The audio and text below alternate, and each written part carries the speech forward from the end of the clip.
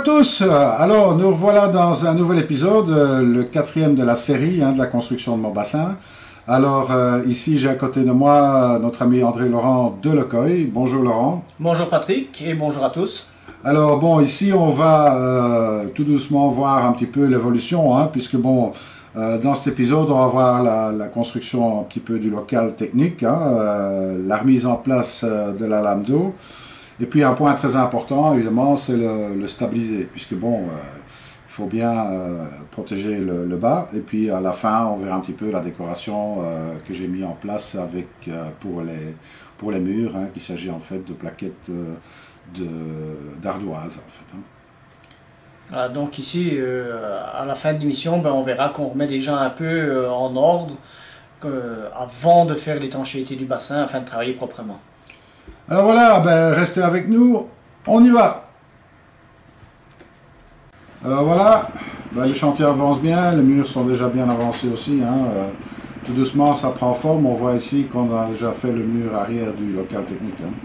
Oui, donc là, on a le trois quarts du bassin qui est déjà emmuré. Le local technique, on a déjà tout l'arrière qui est fait également en bloc de 40 pour le renfort, à cause qu'on a 2,50 m de terre qui viennent pousser dessus à l'arrière. Et tous les murs sont bien évidemment avec des murs forts. C'est ça, des murs forts, hein, qui est en fait euh, un armement, hein, on va dire ça.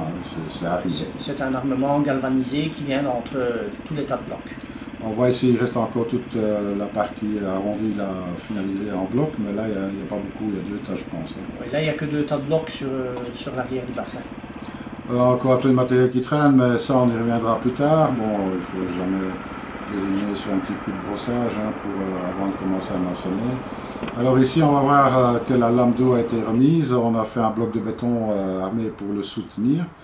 Et ben voilà, elle est, repositionnée. Là, on voit un bac qui est en fait juste avant la lame d'eau, où il y a deux tuyaux de 64 qui repartent vers la première la première cuve hein, dans le local technique. Hein, et ça, ça permet de faire un rinçage de la cascade quand on veut la remettre en route. Oui, parce que sinon, à chaque arrêt de la cascade, tout ce que l'on risque, c'est d'avoir des feuilles et des dépôts qui viennent se mettre dedans. Et lors du lancement de, la rivière, ben, tout va repasser dans le bassin. Alors par ce système, on a justement la possibilité de tout nettoyer avant de mettre la cascade en route. Ah ici on voit l'arrivée des bondes de fond. Hein. Donc là on a l'arrivée des bondes de fond dans le local technique et on voit également dans le local technique qu'on a deux hauteurs de béton différents ce qui nous permet de faire un mur pour séparer, pour faire vraiment les chambres de, décantation, mais toujours plus basse que le niveau du fond du bassin. Comme ça, on sait tout purger sans rien devoir mettre euh, de pont ni, rien de tout en route. C'est ça. Donc, bah, ça permet d'être un petit peu plus efficace et plus rapide à l'exécution. Hein. Donc, tout ce local va être carrelé, bien sûr, on verra ça plus tard. Et euh, bon, ben voilà, ça maintenant la forme elle y est, euh, tout doucement, on commence à voir un peu plus clair dans ce chantier. Euh, ben, il a bien fallu prendre son temps pour arriver à faire ce qu'il fallait pour réaliser ça correctement. Ici, on est revenu un petit peu en arrière. Bon, ben, c'est pas trop grave, hein, voilà, le local il est bien mis en place. C'était quand même un sacré boulot. Hein. Oui, il a quand même fallu très longtemps pour le faire. Bon, c'est un travail qu'il faut tout mesurer, il faut vraiment regarder à ce que l'on va faire. On n'a pas l'occasion de le recommencer une deuxième fois. Donc il faut qu'au premier coup, on soit certain de ce que l'on va faire. C'est ça.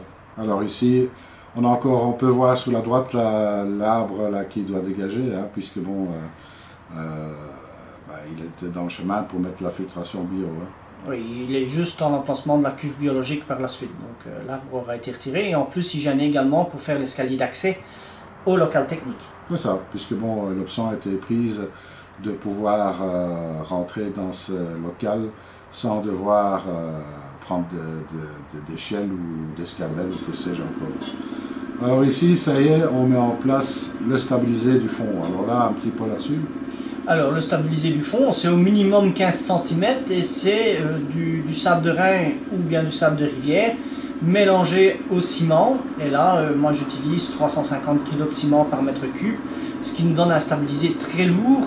C'est l'équivalent d'un béton. Absolument. Bon, ça sèche relativement vite. Hein. Oui, il faut quand même aller assez vite pour le placer.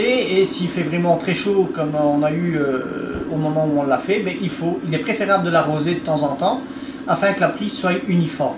C'est ça. Alors bon, Ici, on l'étale au, en fait, et on doit donner un petit arrondi sur les bords. Voilà, on, vient juste le panter les bords afin qu'on puisse ressouder l'HPDE euh, tranquillement par la suite en ligne droite. C'est ça.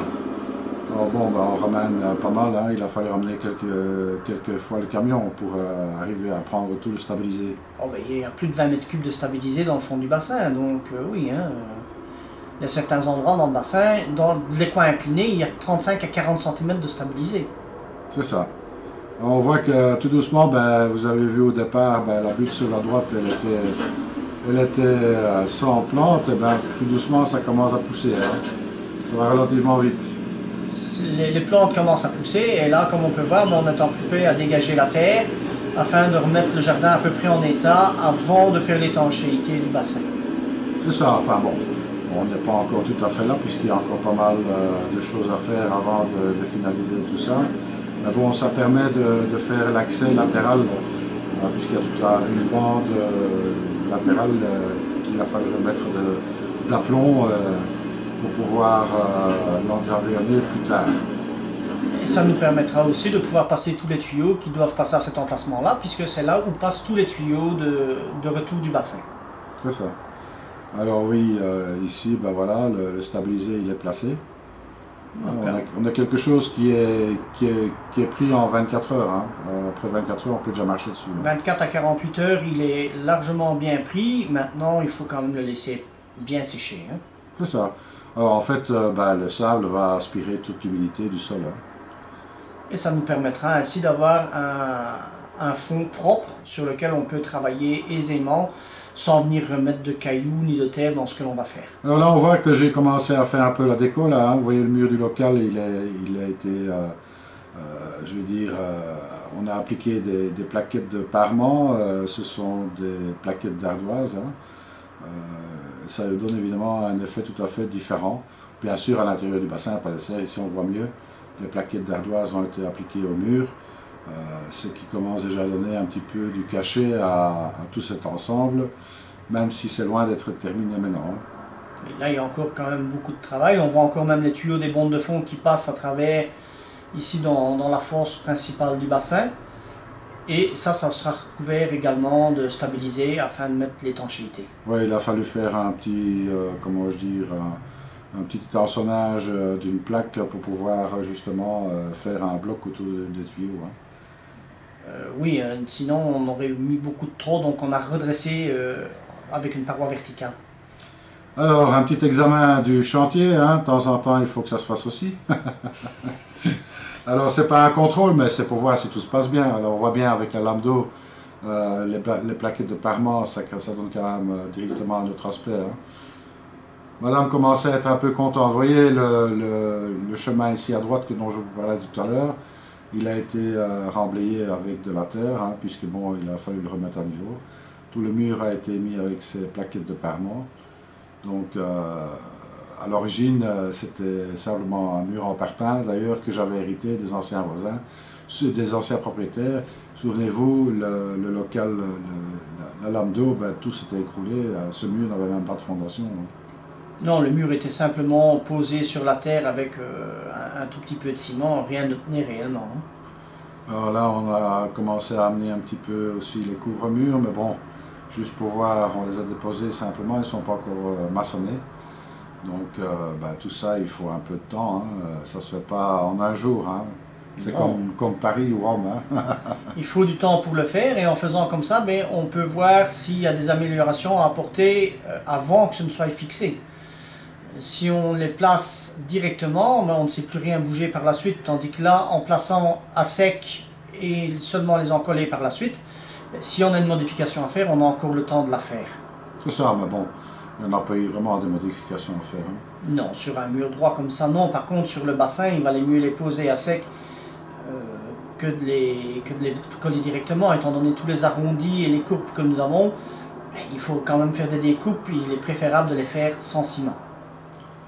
Ben voilà, donc euh, encore une étape de, franchie.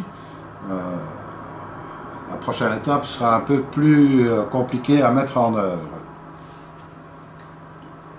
Alors voilà, ça c'était pour cet épisode. bien entendu, ben Laurent, la prochaine étape, ça sera un peu plus compliqué puisqu'on va mettre en place l'HPDE, hein, qu'on rappelle, c'est le polyéthylène Haute densité. haute densité. Alors c'était vraiment une toute première expérience pour toi. Ah oui, donc celui-ci était vraiment le tout premier bassin en HPDE et on l'a travaillé avec un HPDE de 2 mm. chose qu'actuellement j'essaye d'éviter un maximum. Euh, je préfère le faire en 5 mm. On a encore un rendu final qui est largement supérieur à celui-ci. C'est ça. Alors bon, ben, il fallait bien faire une première expérience. hein, donc, euh, Oui, donc, euh, il, a- il fallait faire l'essai de toute façon, mais enfin, on a la preuve également que même en 2 mm, avec des formes totalement particulières comme on a ici, c'est faisable. Eh bien, moi, je vous invite à rester attentif, hein, puisque bon, euh, ben, il reste encore quelques épisodes et l'aventure n'est pas finie. En attendant, surtout, surtout, ne soyez pas sages. Salut à tous.